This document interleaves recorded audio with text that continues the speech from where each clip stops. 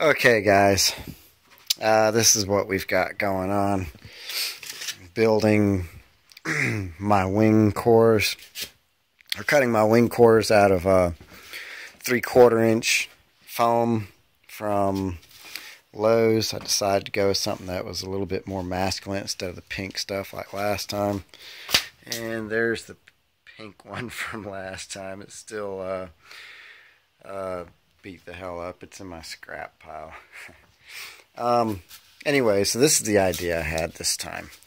Um, gonna do two sections of wing, one on top of the other to sandwich the wing spar, which I'm going to run down the center, a uh, hot um, soldering iron, run it down the center using a straight edge here. And uh, that's going to give me my ditch for my yeah these are going to be my uh, wing spars carbon fiber arrow shafts. I was hoping to go with uh, aluminum tubing with this one but it turned out these uh, arrow shafts seem to have been about the same price as getting some aluminum tubing and they're almost the perfect size. See it after it's butted up to the end here, you're looking at like maybe an inch and a half overlay there. Of course, I'm gonna have to pull the fletchings off, all that good stuff. But uh, anyways, I saw a video on YouTube. I can't remember uh, what the guy's name was. Um, but I got the idea to use Dollar Tree foam board with aluminum foil tape. Now I know this is going to take some of the heat away from the uh, hot wire foam cutter, but seems to have worked just fine. Um, this is my second wing. I've still got some sanding to do on it, but just want to show you guys that. And I'm using toothpicks here to pin it down. I know it's kind of ghetto, but kind of trying to rush this project. Hence the mess over here. Didn't even have a chance to clean my area before I started my project. I've been working uh, really, really strict hours here lately. So whenever I have time to work on this, which actually this is Christmas Day, but we did our Christmas last weekend when the kids were here. Alright, gonna use our little ditch witch to make a groove for the wing spar here. Um, I probably got this a little bit too hot, but we'll see how this works.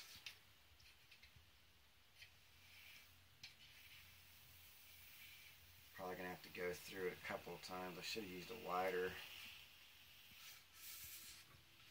piece.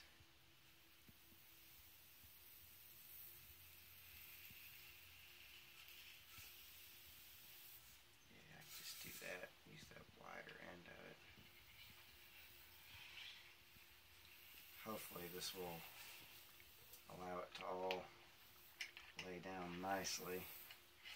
Once glued the top portion won't rise up.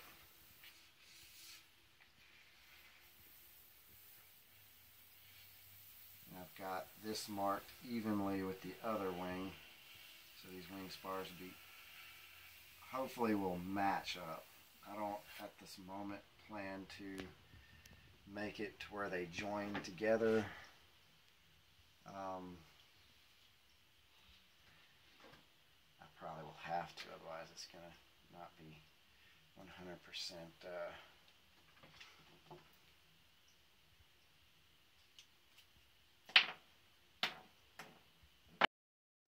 Hey guys, the uh, other plane I built that was just like this, except didn't have the inverted V-tail. Um, that was a prototype of what I was wanting to do. And here it is. Uh, I've got a few other things I'm going to need to do to it.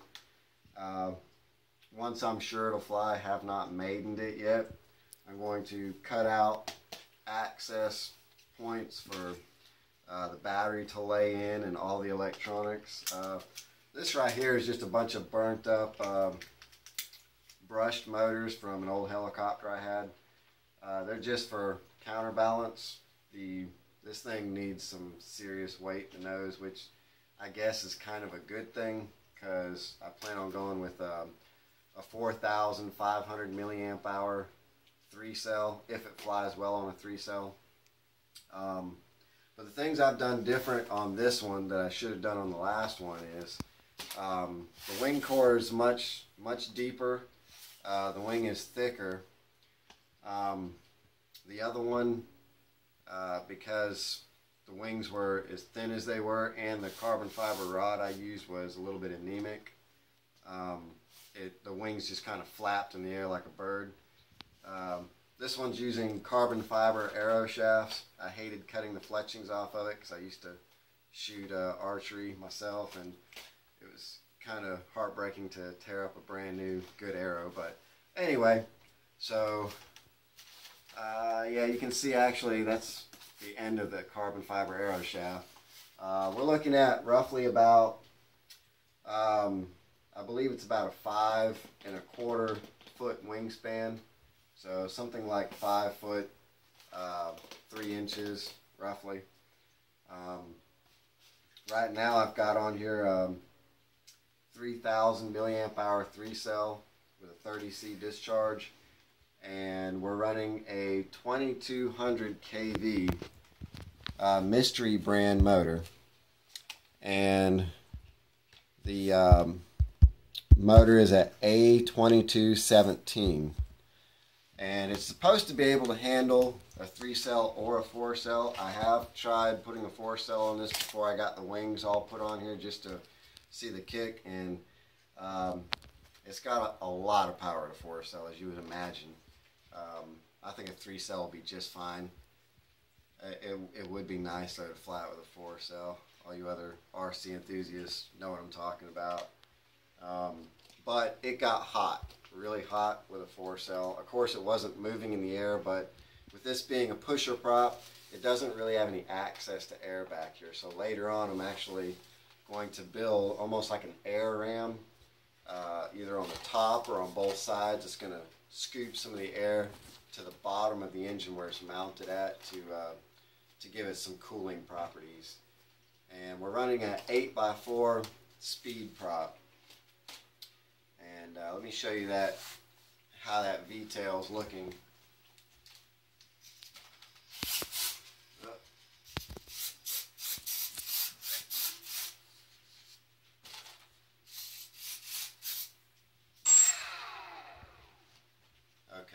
And so the reason why I went with inverted V-tail instead of your traditional V-tail, um, I've never had a V-tail set up on a plane. Uh, so I did some research on it and it turns out with the V-tail sitting like this, it actually has a counter uh, roll effect when you use the rudder. Uh, when you use the rudder, it, it almost, the back end of the plane wants to go to the left when you use left rudder, but the right wing, from what I understand, wants to drop. Now, I could be wrong about that. Uh, my research was kind of limited. There really isn't a whole lot on YouTube, believe it or not, on uh, the characteristics of the way a V-tail responds. But, uh, okay, so we're going to go ahead and take it apart here in just a minute, and I'm going to show you guys how easy this comes apart. And I hope you guys build something like this and post it in the comments. I'd love to see what you guys do. It gives me ideas and uh, it may give me ideas on how to improve something like this. Um, the electronics, uh, using Spektrum, This is a uh, AR6 100E receiver. I've got dozens of them. I know it's kind of a no-no to have this so close to um, all these wires. The, the antennas are going to have major interference, but like I said, this is just kind of just to see if this thing will fly. I'm pretty sure it's not going to brown out. I still may move some stuff, but we're running a uh, 40 amp uh, Simon speed controller made by Emax. Um, it seems to work wonders on it. Uh, when I put a four cell in there, it does get a little bit hot, but uh, like I said before, it was not in the air, so um, I really don't know how it will do with a four cell with that speed controller. I've a lot of the other planes, what I'll do is I'll cut the insulation around it and let the heat sink um, get to the bare air. And I'll always, even uh, when I cut out the um, the canopy and install stuff down in the foam, the um, speed controller is going to stay on top for maximum air current, keeping it cool, that sort of thing. Um, Alright, so we're going to show you how easy it is to tear this thing apart. Um, I wanted it where I could take it apart and put it in the car as everybody does so that they can take it to their buddies and show it off to their buddies and stuff. Um, but I didn't realize it was going to be as modular as it is. So it turned out better than what I planned on. So just to, uh, let me go ahead and turn this stuff off, unplug it. Just don't want that motor coming on. My hand's back here. Okay. So all you have to do is just disconnect these servo extensions for the tail and then flip it around. Just flip it around. And there you go. Tail comes off. That simple. Folds up right up against each other really snug. Um, also, this uh, V-tail, I've made it out of the, uh, I think they call it Depron. It's the Dollar Tree foam board. Um, I just cut the uh, the center where I wanted to bend at at 45 degree angles on each side and uh, left the, the paper on the back side so that way when it folds over it's got something to you know keep its arch nice. Okay, so that's the tail. And let's see, here's my Right now I've just got tape on it. Uh, later on I plan on getting some uh, uh, nylon uh, nuts and screws. Actually a buddy of mine, um, Pierre, gave me some nylon nuts with, with screws. Um, I'll probably end up just using that later on, but like I said, before I go through the trouble of doing the extra mile on it, I want to make sure it flies. So, alright. And I know a lot of people, um, when they build a hatch like this, they put it on the top. When they go to drop a wing in, they usually do it from the top. But my theory is if the weight is all on the wing, then if this plug was to come loose, if it's on the top, your whole wing's going to come off with it and your plane's going to hit the dirt. But if it's on the bottom and it comes loose, then you know you got the force of the air keeping it up. You can still bring it in for a landing and then go find your plug that fell out. Hopefully that'll never happen, but okay. So here's the wing assembly. Come in a little closer. Um, I've got two pieces of um, Dollar Tree foam board at the trailing edge of the wing to uh, to kick the wings forward. So they are actually forward swept. It's a little bit tough to tell unless you get down close and you really know what to look for, but I'm sure you can tell it now. And anyways, to take apart the wing, you just unplug the splitter or Y connector for the servos. And I've got tape down here too. I don't know what I'm going to substitute that for to keep the wings close together. Uh, I may just keep using tape. It's cheap, effective. And there we go.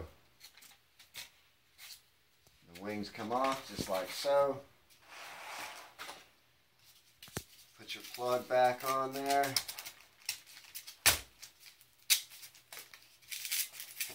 Make sure you get it on the right direction.